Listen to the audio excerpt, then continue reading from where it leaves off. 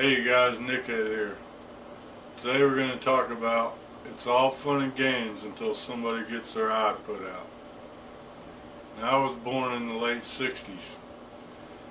I grew up in the 70s.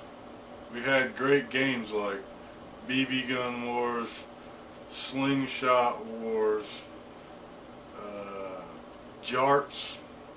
I know you're all familiar with that. That's where two kids put a circle in the grass in their yard at each end. And one kid hurls a dart into the air. And the other kid looks up and watches it come at him and tries to land in the circle in front of their feet.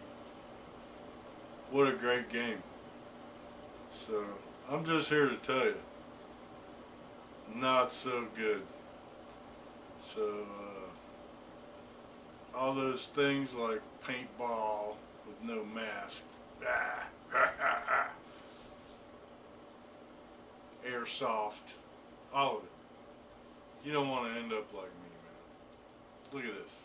It's horrible. You know what? I can't even turn left. You know how long it takes me to get home from work? By only being able to turn right? It's a nightmare especially with the I-4 traffic.